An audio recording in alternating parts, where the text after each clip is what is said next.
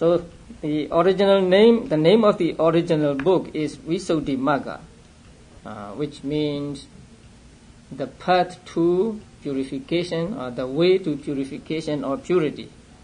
Mm, Magga means the path and Visuddhi means purification or purity.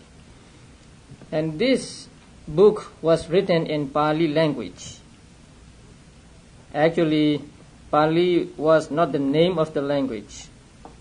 It was the name of a category of Pali literature, uh, which are called texts. and the word Pali is used in contradistinction to the Atthakathas or commentaries and um, Tikas, sub-commentaries. But the language was also uh, the language also came to be known as Pali um, at a later date. So at our times, the word Pali means both the text and the language in which uh, the texts are recorded.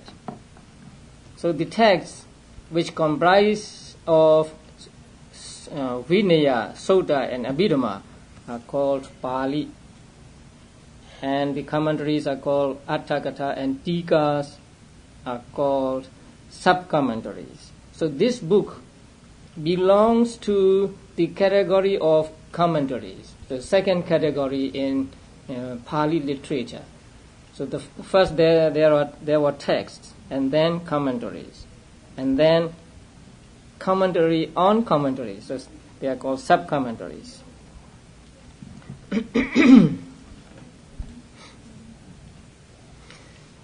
and the author of this book was uh, the Venerable Buddha Ghosa. Here it is given as Bhadanta Chariya Buddha Ghosa. Actually, the name, his personal name was Buddha Ghosa. The word in front of that is Bhadanta, Bhadanta Chariya. Uh, Bhadanta is like the venerable, and Acharya means teacher. So it means something like the revered teacher Buddha Ghosa. And Buddha Ghosa was his personal name. And Buddha means the Buddha, and Ghosa means the voice. So Buddha Ghosa means the voice of the Buddha.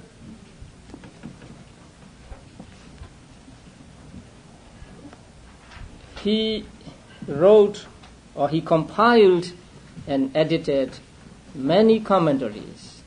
It, it was not, not the only commentary he wrote.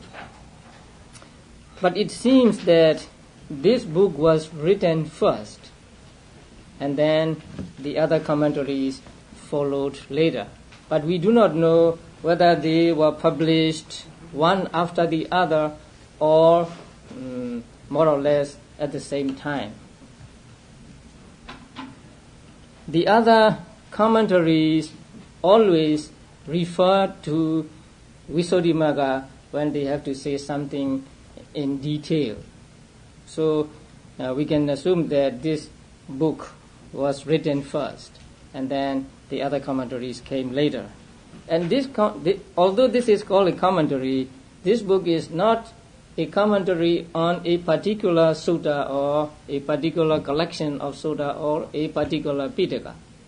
It is called a common common commentary of the text. That means it uh, quotes copiously from the text and then explain these texts in, in uh, great detail. So it is not, not a commentary of any particular sutta or collection or pitaka, but it, uh, it is a common commentary to, uh, to all texts.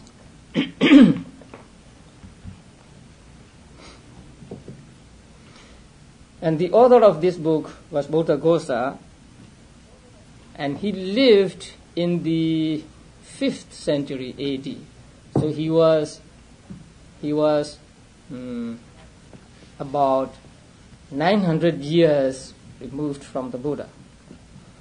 But the commentaries he wrote were not his own creation, not not uh, his originality because uh, the commentaries existed during the time of the Buddha. And then these commentaries were carried down from generation to generation by word of mouth. and later they were written down and then taken to um, Sri Lanka, and some of them were translated into Sinhalese.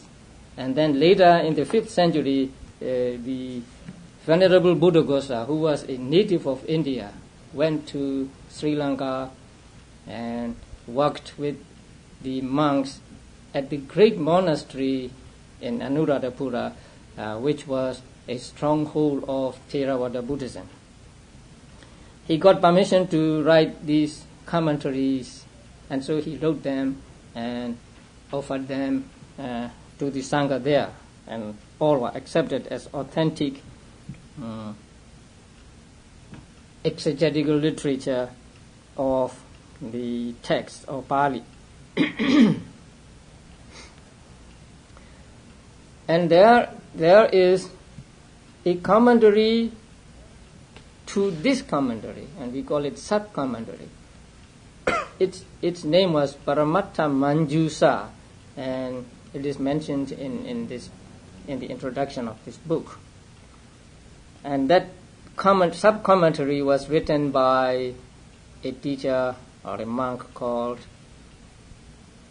Dhammapala. I'm not sure to which age he belonged, maybe to the 7th century. and the purpose in writing this book was, as the name implies, to show um, the people the way to purity, the way to purification. And the way to purification means the way to purification of mind, um, of um, the mental impurities or defilements. So, in fact, it is a book on meditation, a handbook of meditation uh, written by a monk for monks. And when he wrote this book, he assumed in knowledge of Abhidhamma of his readers. So it is not so easy in some places to understand this book uh, without a knowledge of Abhidhamma. So the purpose in writing this book was just to help those who want who wanted to practice meditation. And the different types of meditation are explained in this book and in some cases in a meticulous detail.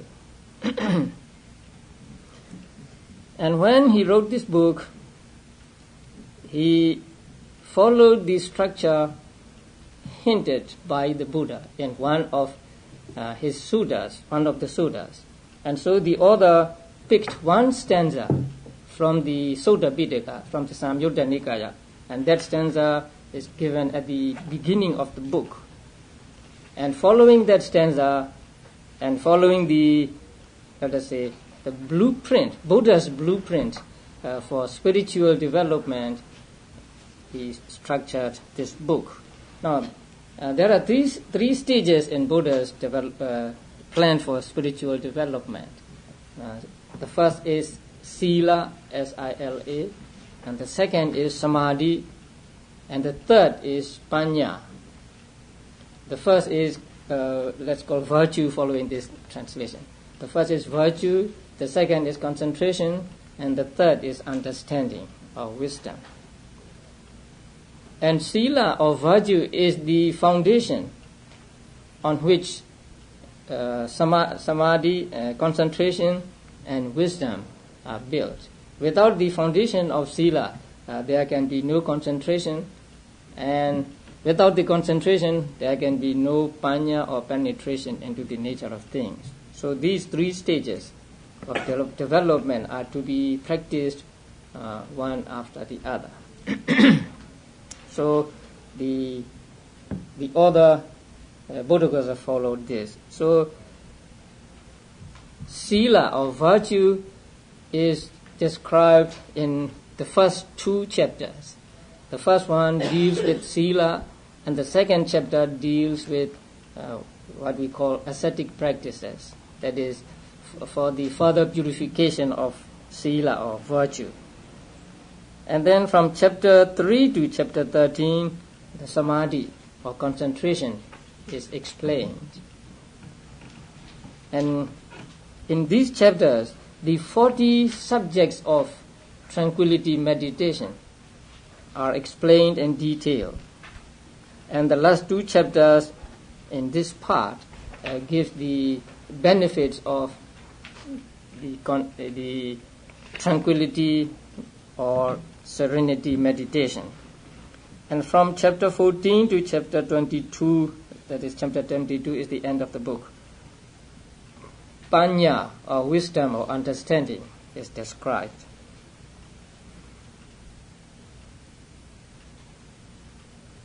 And in chapters 14 to chapter 17, a theoretical theoretical knowledge of the the aggregates, bases, faculties, truths, and so on are explained, and the description of practice of vipassana begins with chapter 18,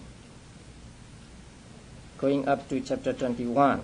And the last chapter, chapter 22, explains the benefits of the practice of mental culture or vipassana.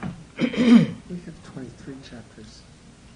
So, 23? yeah, the benefits are chapter Oh, 23. mhm. 22 is purification. Oh, up to 22. vision. Right. Ah, okay, thank you. the, the, the, the last one is uh, 23, chapter 23, benefits of vipassana. And there are two editions of this book in Pali in uh, Roman or Latin script. One was published by the Pali Text Society of London, and the other by Harvard University.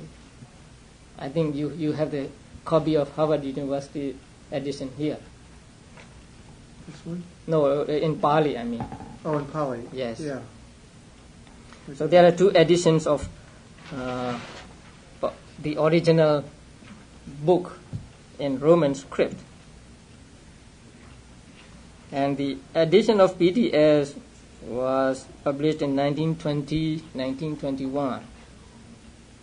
Older than all of us here, right? oh, maybe not. I don't know. and the Harvard edition was uh, published in 1950. And there are two English translations of this monumental work. The first one was uh, by a Burmese, Burmese lay, layman called Pe Maung Tin, who was also the author of the translation of the first commentary of Abhidhamma, Atthasalini. It was called, it is called Expositor. So, Pei translation came first, and it was published in 1923. And the second translation, called The Path of Purification, was done by Nanamoli. The name was given, yeah, yeah, Bhikkhu Nanamoli.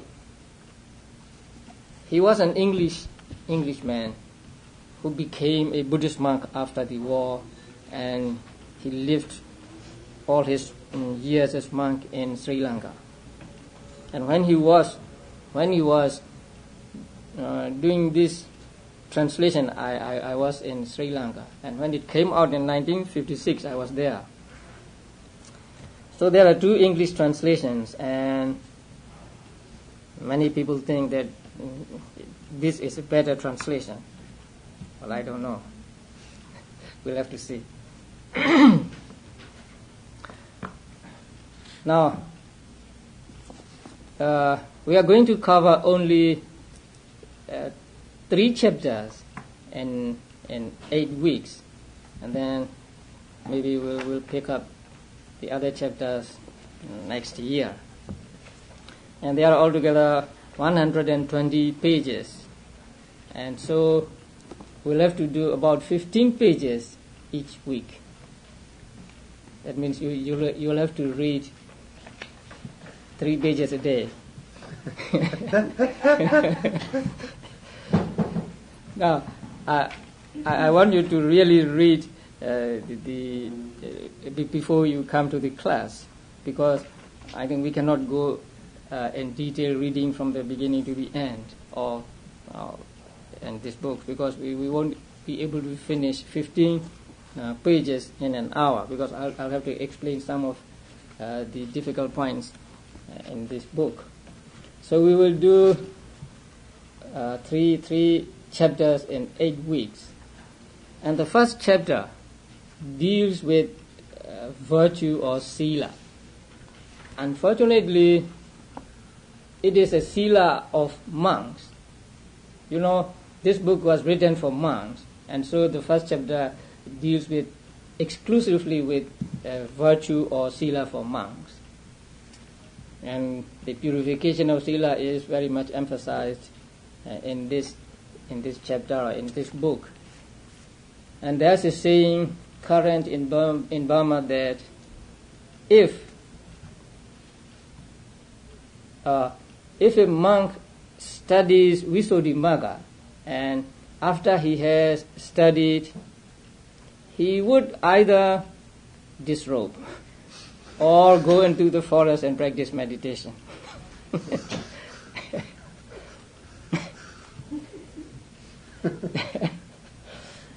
because sila has to be to be kept uh, uh, very pure, and it, it is very difficult to, to keep all the precepts to uh, to keep the, all the precepts pure, and so some may uh, get disillusioned or afraid of uh, being impure and may disrobe.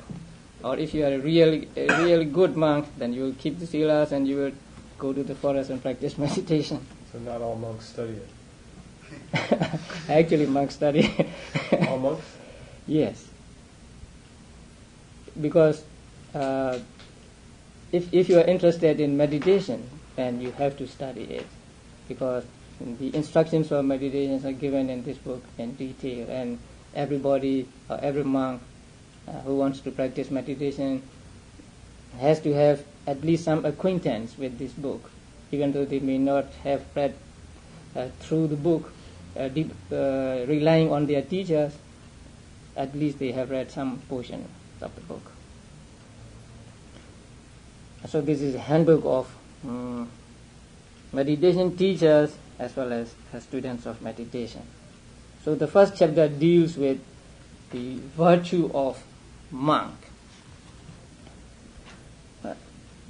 The first, at first, the the author gave us a stanza from Samyutta Nikaya. And basing on this stanza, he, he planned this book and he wrote on the basis of this stanza, which describes Sila, Samadhi, and Panya. When a wise man established well in virtue, develops consciousness and understanding, then as a bhikkhu ardent and sagacious, he succeeds in disentangling this tangle. So this is the stanza put at the beginning of this book. And this stanza was in response to a question asked by a deity. So the deity asked Buddha, the inner tangle and the outer tangle. This generation is entangled in the tangle. And so I ask of Gautama this question, who succeeds in disentangling this tangle? and then the, the explanation of the, this stanza was given below. And if you read, when you read this book, you will have a glimpse, at least a glimpse of how uh, Pali commentaries are written. There, there are what explanations and then some comments mm, on it.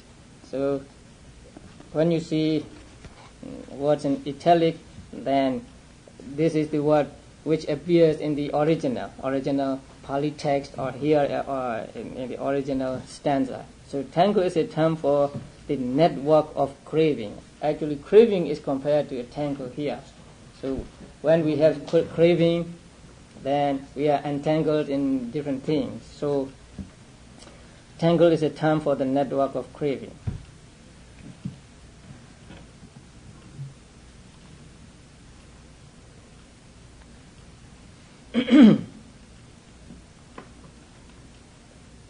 and the deity asked how this tangle of craving could be disentangled. And then Buddha's answer was first, you are to be well established in virtue and sila, in moral conduct. And then you develop consciousness. Here, consciousness really means samadhi. So, samadhi is described as consciousness here. And then you develop understanding of panya. Then, as a bhikkhu, ardent and sagacious, he succeeds in disentangling this tangle. That means uh, you develop samadhi, you practice samatha meditation, and then you develop understanding, that is, you practice vipassana meditation.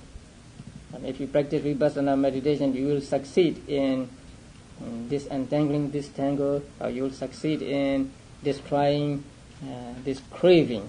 And when craving is destroyed, craving is eradicated, then there will be no tangle of uh, craving.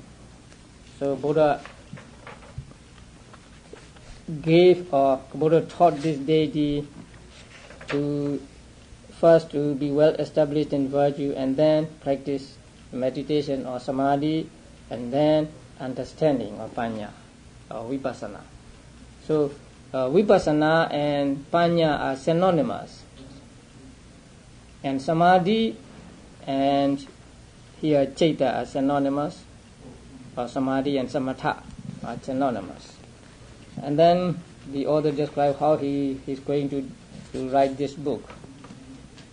So the purification should be understood as nibbana. So purification really means nibbana which being devoid of all stains is utterly pure. The path of purification is the path to that purification.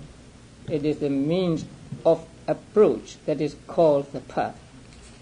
Now, there may be some some places where I would like to make corrections or um, suggest a better translation. So here, uh, Paragraph 5. The path of purification is a path to that purification. It is a means of approach.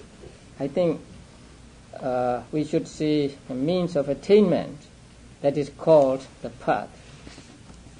But the Pali word adhigama is used in the sense of attainment, reaching.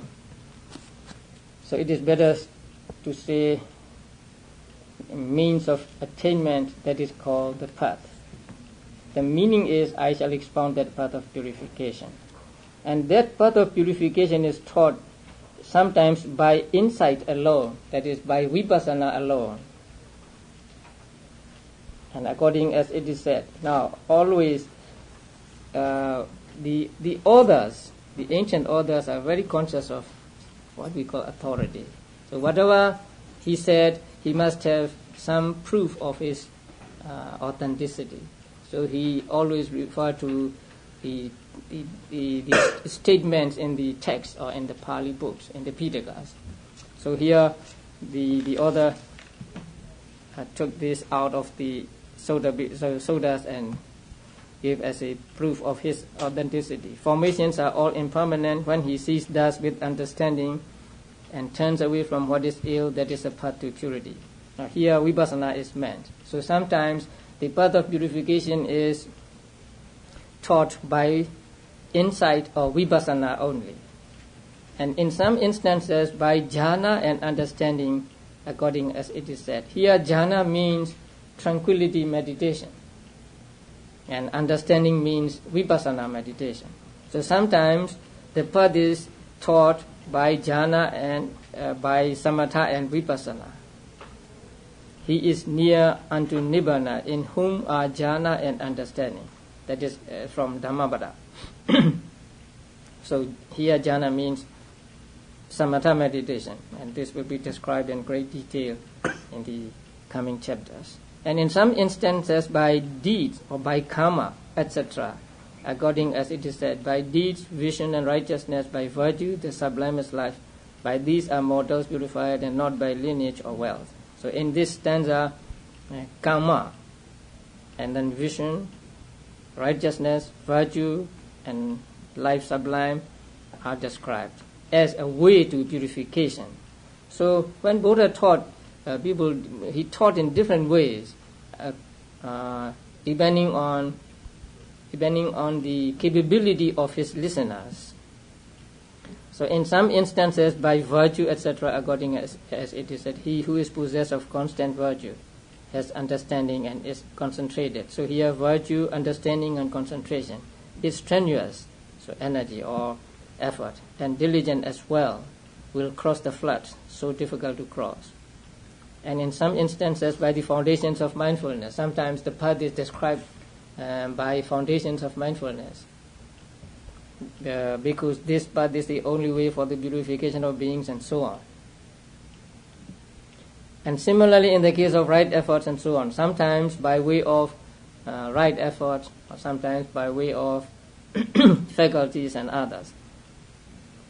But in the answer to this question, it is taught by virtue and the other two. So here, in this stanza, the, the stanza mentioned at, at the beginning of the book, the, path is described or taught by virtue, concentration, and wisdom.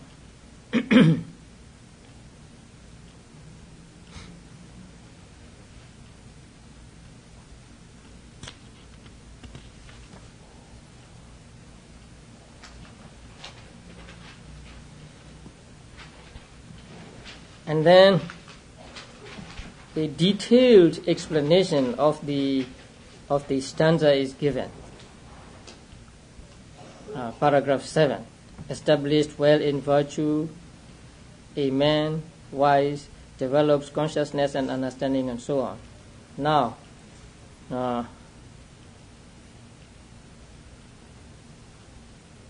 let's see the explanation of the word wise. Possessing the kind of understanding that is born of karma by means of a rebirth linking with triple root cause. you understand that? Understanding that is born of karma. That is the result of karma. By means of a rebirth linking with triple root cause. You're familiar with roots, right? Lobha, dosa, uh, moha, and then opposite of these three, alobha, adosa, amoha. Now, a, a relinking consciousness, relinking consciousness can be accompanied by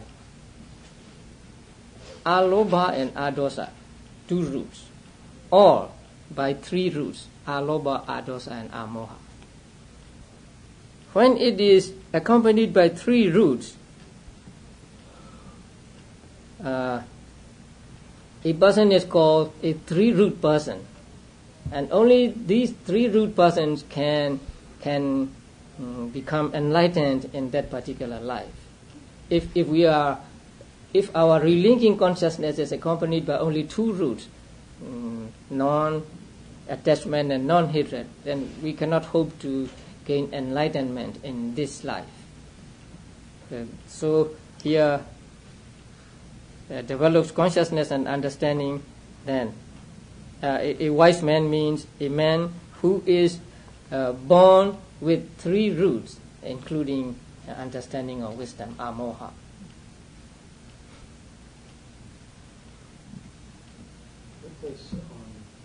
What is dosa? One? Lobha is, is hatred. Uh, lo- lobha is attachment.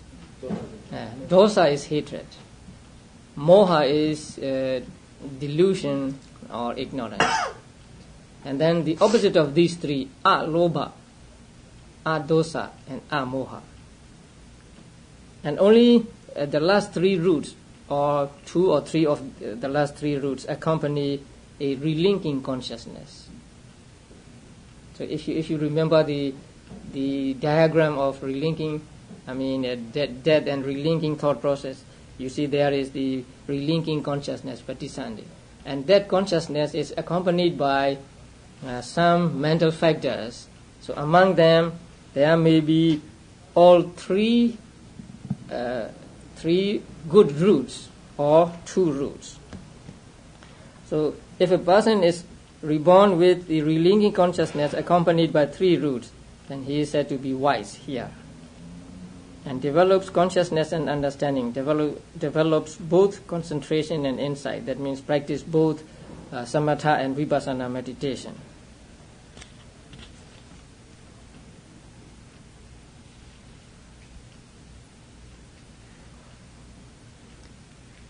And on page four, he has he has that, thus he is ardent. Sagacious, it is understanding that is called sagacity. I don't know what sagacious means. Possessing that is the meaning. This what shows protective understanding. Actually, here understanding means some kind of clear comprehension. Clear comprehension of what is beneficial and clear comprehension of what is suitable. So that is called understanding here. So rather than saying protective understanding, we should say understanding um, engaged in keeping meditation. That means when you practice meditation, uh, you have to you have to know which is beneficial and which is not, and which is suitable and which is not. So you have to keep this understanding or wisdom with you always when you practice meditation. And that is what is meant here.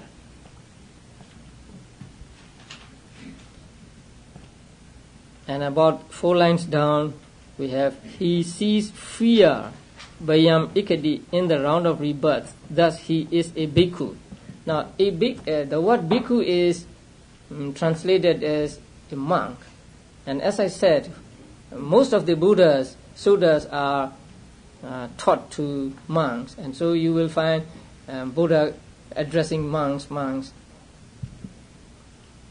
And in one of the suttas, in the in the suttas on the foundations of mindfulness, the commentary explains that anybody who practices meditation and who sees danger in, in existence can called can be called a bhikkhu, a monk.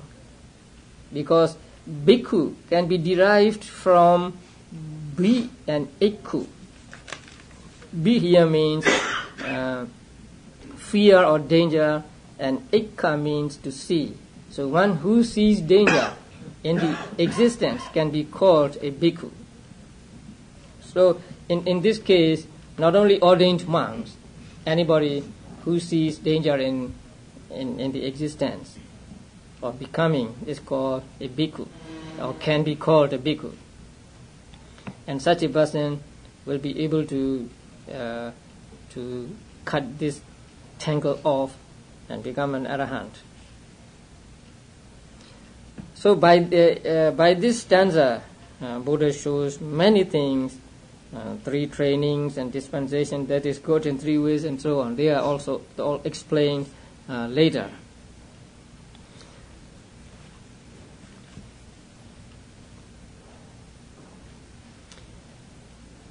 the dispensation of Buddha is said to be good in the beginning, good in the middle, and good in the end.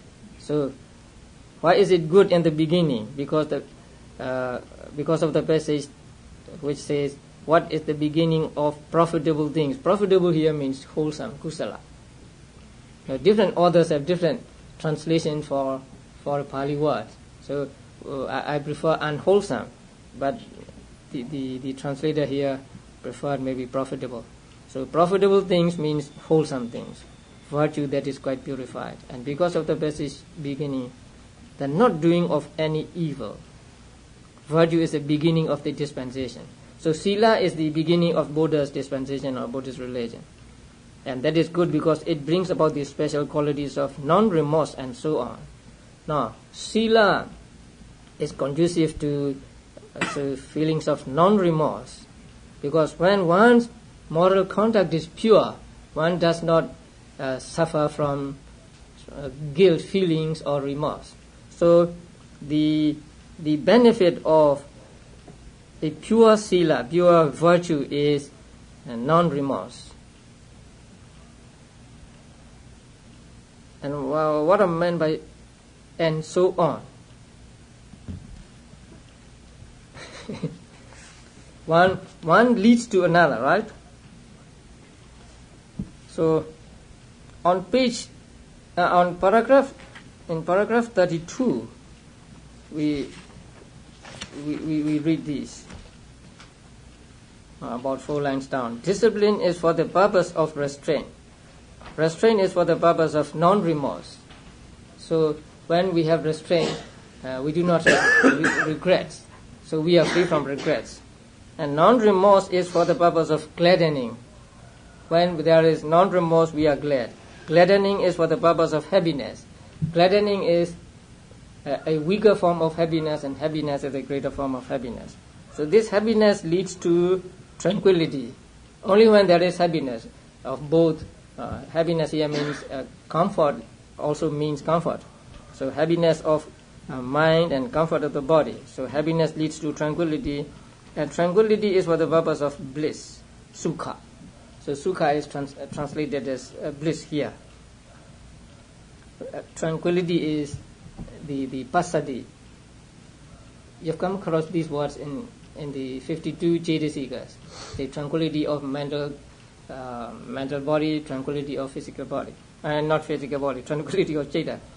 So tranquility uh, is for the purpose of bliss and bliss is for the purpose of concentration and concentration is for the purpose of correct knowledge and vision and so on.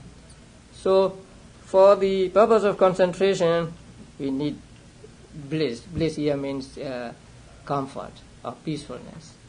So when, when, when there is no peacefulness, we cannot get concentration. And so it leads step by step to uh, ultimately to liberation from all all suffering and extinction of all suffering and also extinction of the mental defilements.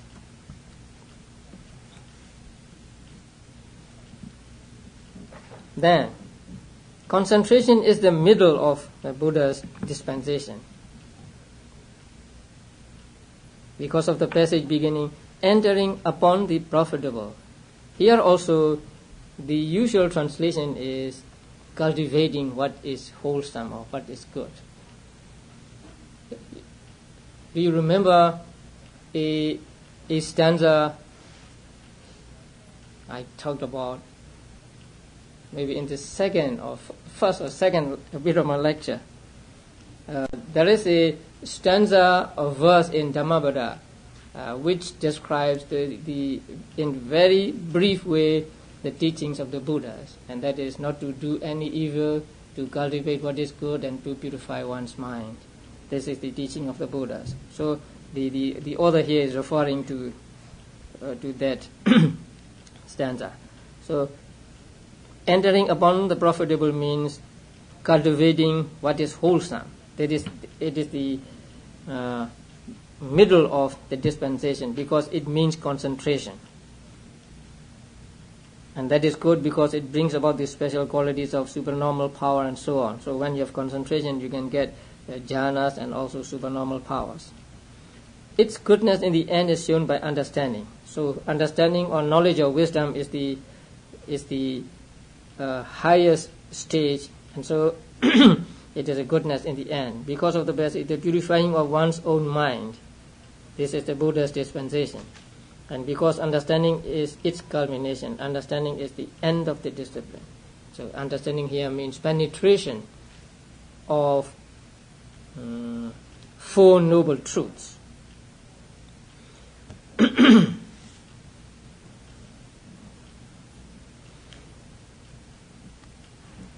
and the paragraph 11 likewise the necessary condition for the triple clear vision is shown by virtue do you know the triple clear vision? They are given in the footnotes. So the sila, uh, the the necessary condition for a sila is the necessary condition for the triple clear vision.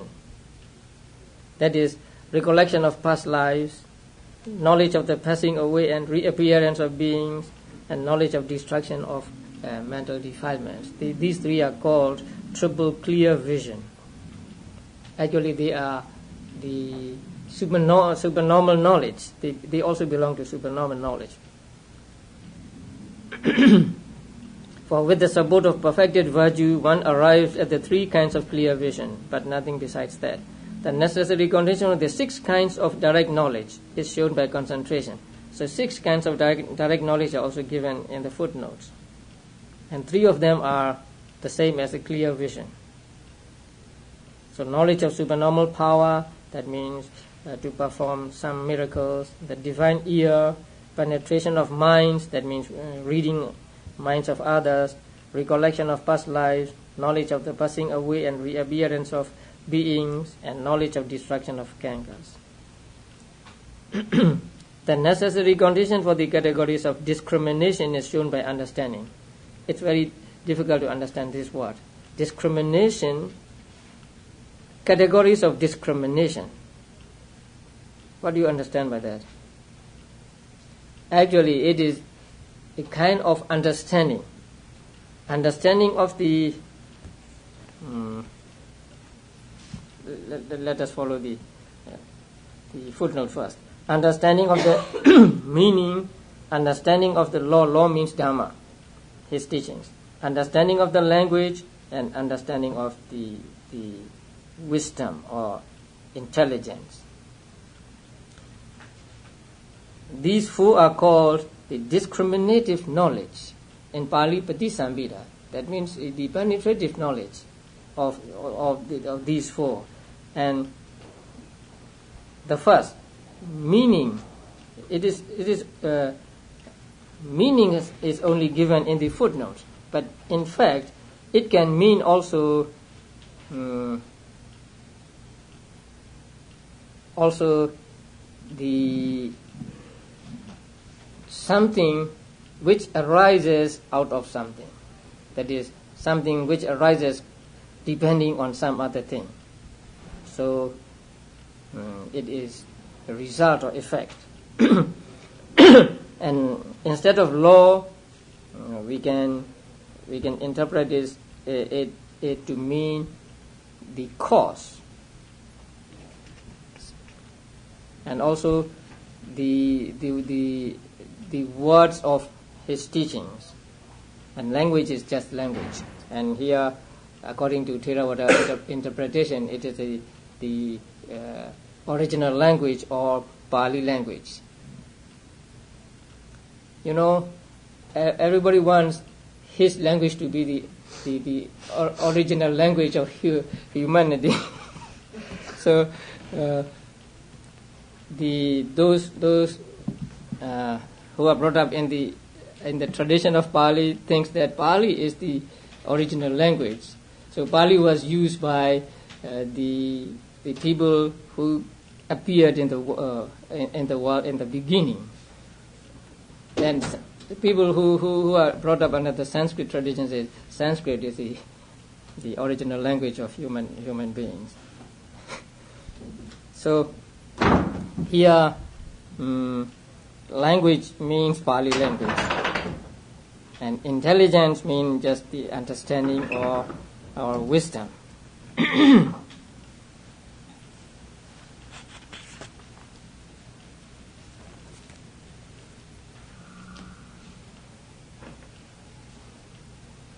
so, uh, many things are shown by just this one verse or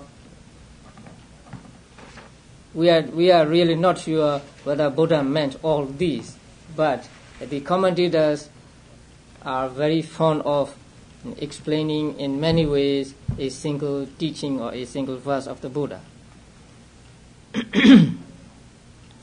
now, in paragraph 12, likewise the means for surmounting the states of loss. Now, the states of loss means the states of woe, the state of misery, the four apayas, the animal kingdom, hell, uh, angry ghosts, and, and another kind of ghosts. the means for surmounting the element of sense, sense desires by concentration. Uh, do you know the element of sense desires? What do you understand by that?